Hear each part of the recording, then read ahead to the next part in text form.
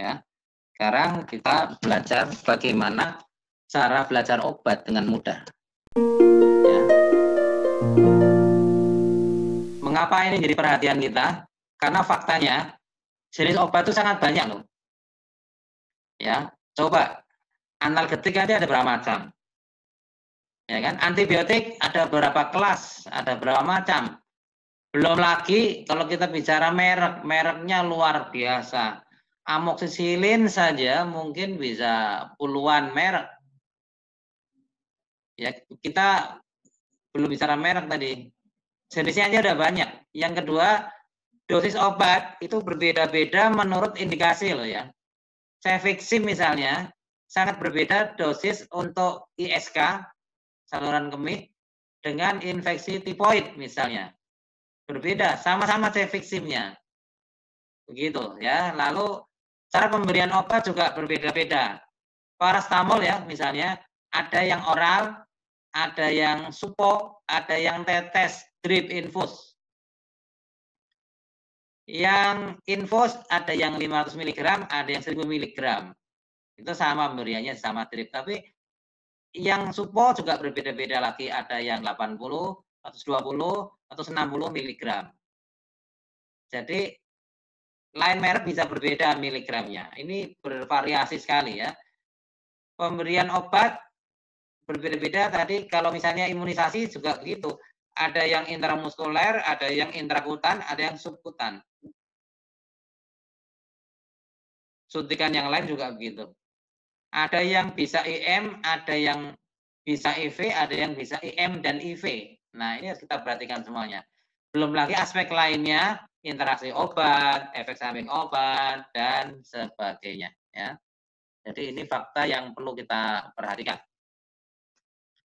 Maka kita perlu bersemangat belajar, jangan kendor. ya. Kenapa? Karena Nabi Muhammad SAW itu pernah bersabda begini, diceritakan oleh sahabat Jabir radhiyallahu anhu dari Rasulullah SAW. Beliau bersabda, setiap penyakit ada obatnya. Dan bila telah ditemukan dengan tepat obat suatu penyakit, ini saya akan sembuh dengan izin Allah Azza wa Jalla. Jadi dua faktor kesembuhan yaitu satu ketepatan obat, yang kedua adalah izin Allah. Izin Allah kita minta dengan doa, berusaha sebaik-baiknya. Lalu ketepatan obat, kita berterima kasih pada para peneliti dan kita harus belajar supaya kita juga memberikan resep nantinya dengan tepat. Tepat obat, tepat diagnosis, tepat dosis, ya, tepat cara pemberian ya. Semuanya harus terpenuhi. Maka kita mari bersemangat. Jadi bagaimana cara belajar tentang obat yang sangat luas itu? Don't worry, be happy ya, jangan khawatir. Saya menawarkan satu proses yang insya Allah mudah bisa Anda laksanakan. Ya. Yang pertama adalah setiap Anda belajar kasus, silakan belajar pedoman terapinya. Jadi jangan hanya melihat, meniru, oh dokternya memberikan amoxicillin, apa maksudnya gitu. Mengapa kok amox? Benarkah terapinya menurut pedoman terapinya amoxicillin? Nah, Anda lihat. Mengapa kok diberi salep mata? Kok bukan tetes mata? Anda pelajari pelajari pedoman terapinya dan juga alasannya mengapa dokter memberikan salep bukan tetes misalnya. Anda diskusi bisa. Di rekam medis yang kedua, Anda tulis instruksi pengobatan dengan jelas. Saya katakan ini instruksi ya, bukan hanya nulis resep, tapi instruksi. Artinya begini, supaya Anda belajar dengan baik, tulis dong, misalnya terapi amoxicillin, 30 mg per kilogram berat badan per hari dibagi tiga dosis sama dengan 3 kali 180 mg sama dengan 3 dd CTH satu setengah. Jadi resepnya 3 kali satu setengah itu ketahuan dari mana asal muasalnya. Nah itu di rekam medis Anda tulis rekam medis uh, dami Anda Anda tulis dengan jelas ya instruksinya itu. Jangan hanya langsung resep. Resep lain lagi, resep nomor 4 nanti. Nomor 3 sebelum resep belajar macam-macam obat ya. Dari nama generiknya, nama mereknya, lalu sediaannya, berapa miligram dan seterusnya, dosisnya, efek sampingnya, cara pemberiannya dan sebagainya. Itu ada program yang namanya ODOT ya, one day one drug. Anda belajar satu saja obat satu hari sudah bagus. Misalnya tadi hari ini ah, ketemu dengan pasien demam berdarah, dengue. Oh, saya belajar tentang paracetamol. Paracetamol itu ada yang sirup, ada yang tablet, ada yang drop, yang sirup, ada yang sirup forte, ada yang drop, ada yang suppositoria, ada lagi yang drip, yang infus. Anda pelajari semuanya. Lalu belajar menulis resep yang keempat. Ini tujuan akhir Anda belajar obat adalah belajar menulis resep. Adalah menulis resep yang baik. Ya, maka Anda punya harus punya buku resep dami. Paling praktis kalau Anda punya satu buku catatan, bagian depan itu untuk menulis medis dami. Bagian belakang, kalau belakang dari dari bagian sebaliknya, merupakan buku kumpulan resep. Sehingga Anda ke mana-mana membawa buku satu ini sudah ada buku catatan kasus dan sebaliknya adalah buku catatan resep. Nah, latihan menulis resep. Nah, di dalam kasus tadi sudah ada instruksinya, ada rumusnya, cara menghitungnya. Di bagian resep ada contoh resep jadinya. Dan sewaktu-waktu ini akan kami periksa, ya, kami pelajari kami uh, lihat coba lihat mana resepmu, resepmu mana, statusmu mana ya. Jadi begitu ya. Jadi ini ada waktu-waktu tertentu kami melakukan sidak. Ya, ini uh, bagaimana cara Anda belajar. Ya, contoh kasus sekarang. Contoh kasus. Kasusnya adalah kejang demam. Ya, maka Anda belajar tentang bagaimana cara menghentikan kejang. Nah, itu Anda kembali belajar tentang algoritma tata laksana kejang anak. Di situ ada obatnya. Tahap pertama ada pre-hospital pakai apa, UGD bisa pakai apa ya. Kalau tidak baik dengan diazepam, supo ditingkatkan dengan diazepam injeksi. Kalau injeksi tidak membaik, ya boleh sampai dua kali ya. Diteruskan dengan penitoin. Penitoin tidak membaik, diteruskan dengan uh, penobarbital dan seterusnya sampai dengan dia harus masuk ICU misalnya karena karena adanya status epileptikus. Tapi bisa juga dia berhenti hanya sampai dengan uh, suppositoria sudah sudah selesai.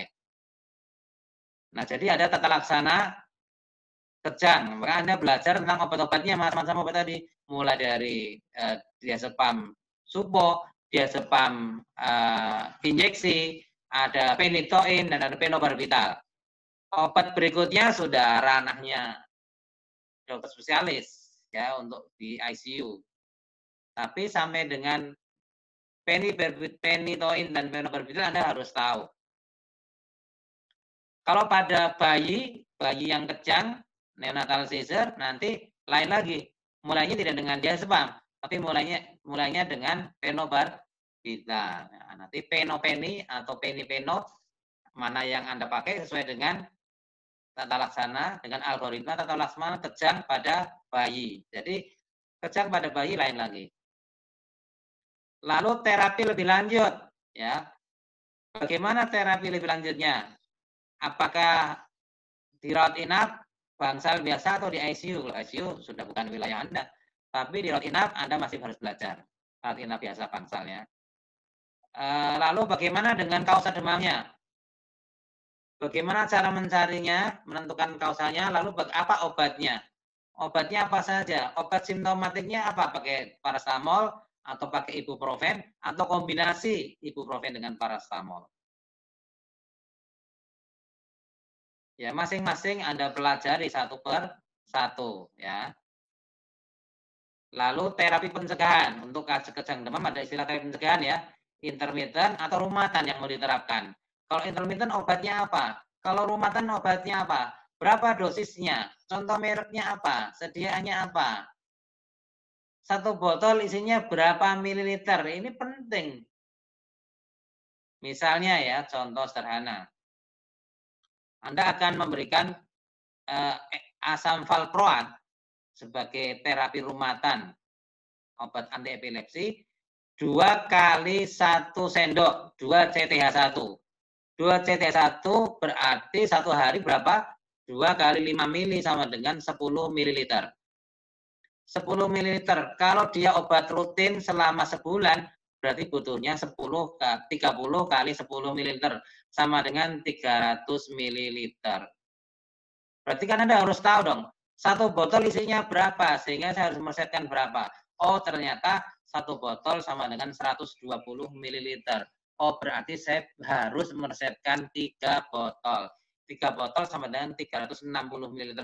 Bisa untuk satu bulan lebih beberapa hari. 60 ml berarti lebih enam hari, 5 enam hari sisanya.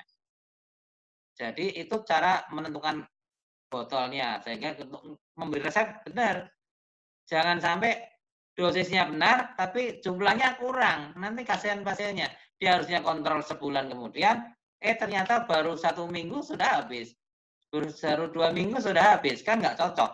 Nah, itu perlunya Anda belajar sediaannya apa, berapa volumenya atau berapa miligramnya yang tersedia di dalam satu uh, botol atau dalam satu uh, kemasan misalnya. Jadi itu perlunya Anda belajar uh, obat. Ya, dengan begitu insya Allah one day one drug, satu obat satu hari, Anda belajar 10 minggu di bagian anak.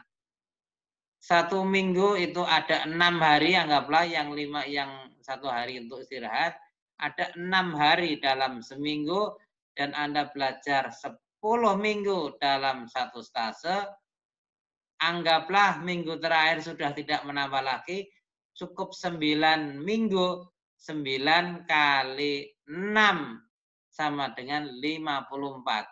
Jadi Anda lulus bagian anak sudah menguasai 54. 54 obat. Yakin bisa? Saya pikir, saya rasa, saya bisa, insya Allah. Begitu, Anda harus yakin.